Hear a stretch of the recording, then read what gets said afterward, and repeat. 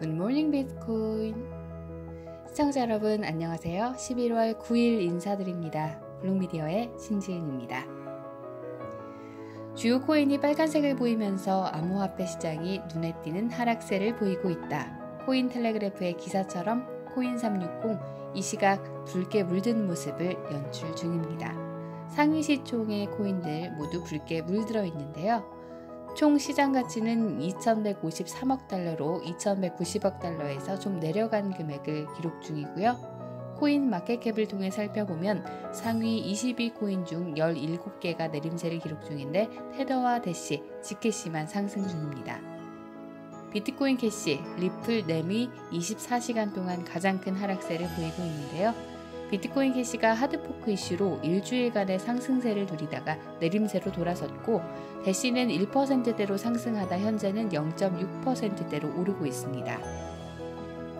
오늘 장에서 거래량 순위는 조정된 거래량 기준으로 바이낸스가 1위, 2위가 OKEX고요. 상위권 거래소의 거래량은 좀 줄어든 모습입니다. 업비트는 13위 기록 중입니다. 보고된 거래량 순위는 빗썸이 1위, 코인빗이 4위, 업비트는 17위 기록 중이네요.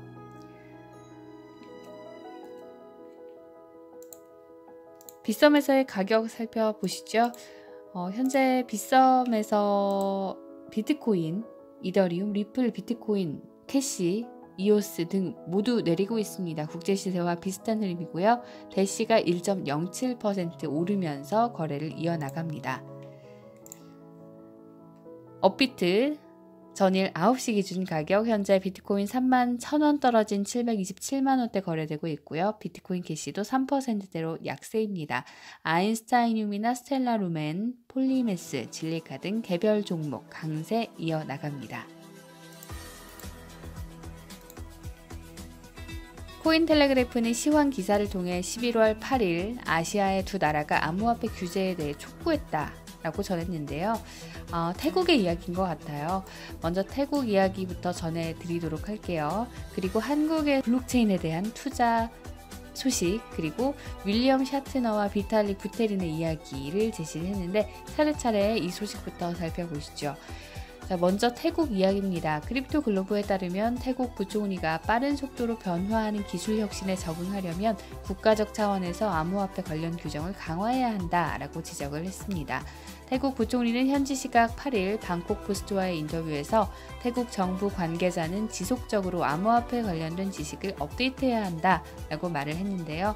우리가 기술 변화를 따라가려면 암호화폐를 규제하는 방식도 수정해야 한다고 덧붙였습니다.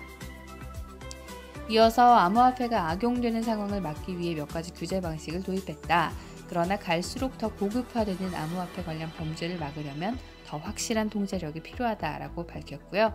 태국 정부는 지난 5월부터 암호화폐 사업을 진행하려면 개인이든 회사든 증권거래위원회에 등록해야 한다는 규정을 도입했고요. 미등록자가 거래를 진행하면 벌금이나 징역형에 처할 수 있다라고 설명을 했습니다. 또 7가지 암호화폐 ICO를 지난 6월 합법화하기도 했는데 비트코인, 비트코인 캐시, 이더리움, 이더리움 클래식, 라이트코인, 스텔라, 리플입니다. 태국의 경우 규제를 하면서도 ICO는 합법화하는 모습인데 자, 우리나라 소식도 살펴보시죠. 한국의 내년 블록체인 관련 예산이 3,500만 달러로 늘어날 것이라는 보도가 코인텔레그래프를 통해 나왔네요. 과학기술정보통신부, 민주당 등이 참여한 관련 회의에서 대략 내년 예산을 3배로 늘리겠다는 발표를 했다고 전했는데요. 올해 과학기술정보통신부는 72개의 블록체인 프로젝트를 41개 기관으로부터 추천을 받아서 6개의 공공분야 프로젝트를 선정한 바가 있죠. 내년에는 이 숫자를 2배인 12개로 늘리고 민간 주도형 블록체인 사업 도 3개에서 4개로 늘릴 예정이라는 소식 전했습니다. 지난 10월 금융위가 암호화폐에 투자하는 것이 한국 자본시장법을 위반할 수도 있다 라고 밝힌 것과는 대조적인 모습이라고 짚었네요. 윌리엄 샤트너가 트위터에 비탈릭 부테린을 태그하고 이런 트윗을 남기면서 암호화폐 트위터 유저의 반감을 산 것이 기사가 됐습니다. 윌리엄 샤트너는 유명한 캐나다 출신의 배우인데요. 어, 이 트윗을 보는 유저가 이더리움을 비판하자 샤트너는 어, 코드가 감사를 받아야 한다는 사실 그리고 컨소시엄에 의해 승인을 받아야 한다는 사실을 강조한 것 같다. 우리가 ERC20 같은 것을 가진 이유가 무엇이겠는가라고 유창한 암호화폐 용어를 구사했다고 하네요. 샤트너가 보인 암호화폐에 대한 관심이 화제가 되고 있는 가운데 올해 7월에는 샤트너가 태양광으로 비트코인을 채굴하는 회사의 대변인으로 합류한 바도 있습니다. 언론사별로 주목할 만한 이슈들 살펴보겠습니다. CCN은 미국 중간선거에서 민주당 의원들이 압승을 거두면서 미국 달러화가 하락했다가 다시 FOMC 회의를 앞두고 상승한 것을 두고 만일 달러가 강세를 보인다면 저항선을 뚫고 올라가기 힘들 수 있다는 입장을 보이면서 달러 강세와 암호화폐의 상관관계를 이야기를 했습니다. 어, 주요 인사들의 이야기도 이어졌는데요. 핀테크 기업 레, 레볼루트의 CEO가 암호화폐 강세의 동력으로 여겨지는 기관들이 사실은 비트코인이나 이더리움에는 관심이 적다는 의견을 밝혔습니다. CEO 니콜라이 스토론스키는 기관 투자자들이 아직 암호화폐 시장에 진입할 준비가 되어 있지 않다고 밝혔는데요. 이유는 암호화폐에 대한 욕구와 관심 부족이 꼽혔네요. 기관 투자자들이 관심을 보일 것이라는 희망도 비트코인 가격을 지지해주고 있는데 사실 블랙록의 레리 핑크 등 같은 전문가들은 고객들이 암호화폐에 관심을 갖고 있다는 것에 여전히 회의적이라고 말했습니다. 하지만 이런 의견에도 불구하고 골드만삭스, 바클레이즈, 나스닥 등 독특한 금융사들이 암호화폐에 대한 관심으로 편입 작업을 하고 있다는 점 주목해야 한다고 뉴스BTC는 짚었습니다. 블록체인 기술의 선두주자로 꼽히는 기업 오버스톡 최고 경영자 패트릭 번은 대중의 본격적인 암호화폐 수용은 현재 금융 시스템이 무너져야 이뤄질 수 있다는 견해를 밝혔네요. 그는 한 유튜버와의 인터뷰에서 현대 금융산업은 다단계 사기라고 지적을 했고요. 결국 지금의 금융산업은 붕괴될 것이고 사람들은 금융산업이 붕괴되면 암호화폐를 바라볼 것이다. 지금 베네수엘라, 키프로스, 시리아가 그렇다. 라고 말을 했습니다. 버는 이어 사람들은 지금까지 의존해온 금융 시스템이 무너지면 암호화폐 수용을 시작하게 된다고 밝혔는데요. 다만 비트코인이 대중적 암호화폐 수용을 이끌어낼 존재가 될 수 있을지는 확신할 수 없다고 덧붙였습니다. 오버스톡은 현재 소비자들에게 비트코인 결제 옵션을 제공하고 있습니다. 미국 증권거래위원회가 미등록 증권거래소 이더델타 설립자인 제커리 코번을 공식 기소하면서 플랫폼에 대한 규제의 신호탄을 알렸습니다. 이더델타는 이더리움 기반 분산형 거래소인데요. SEC 집행부는 분산형 원장 기술을 사용해 혁신을 시도하고 있는 시장을 우리는 목격하고 있지만 그래도 감시와 법원에 따라야 한다고 밝혔습니다. 이더델타에 대한 규제는 암호화폐 산업을 어떻게 규제할 것인가에 대한 보고서를 SEC가 발표한 지 일주일도 채 되지 않아 나온 건데요.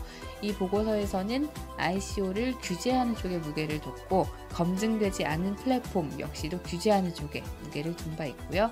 업계에서는 이더 델타의 사례를 두고 이 검증되지 않은 플랫폼에 대한 더 많은 규제를 예상하고 있는 상황입니다. 인터컨티넨탈 거래소 벡트가 12월 12일 시작을 알린 상태지만 여전히 심각한 우려가 있다는 의견이 있습니다. 증권 분야 변호사인 제이크 세빈스키는 벡트에 대한 투자자들의 기대감이 크지만 우려도 있는 상황이다 라고 의견을 전했는데요. 벡트가 승인이 된다고 해도 실물을 정말 보유하는 그 특징을 제대로 충족시킬 수 있을 것인가가 의문이고 재담보 설정이 선물 계약, 청산, 저장고에서 일어나는데 선물 계약에 대한 이야기만 나오고 있고 과연 비트코인 실물을 어떤 식으로 만기 정산할 수 있을지에 대한 답은 내놓지 않았다고 우려를 표하기도 했습니다. 11월물 어, 비트코인 선물 옵션 거래소에서는 1.23% 하락한 6,420의 거래를 마쳤고요. 옵션 거래소에서는 1.23% 어, 하락했다면 CME 거래소에서는 1.31% 하락하면서 6,425선의 거래를 마감 지었습니다. 자, 이 시각 현재도 코인360 통해 바라본 암호화폐 시장 분위기는 네, 다르지 않습니다. 여전히 하락세가 이어지고 있고요. 어, 리플은 5% 넘게 하락을 하고 있는 상황입니다. 자, 가격 확인해 보셨고 주 이슈들 짚어봤습니다. 오늘 크립토 투데이를 통해서 더 자세한 이슈들 계속 짚어보도록 할 테니까요. 오전 11시 방송도 꼭 잊지 말고 기억해 주시길 바랄게요. 자, 지금까지 굿모닝 비트코인이었고요. 시청해주신 여러분 고맙습니다.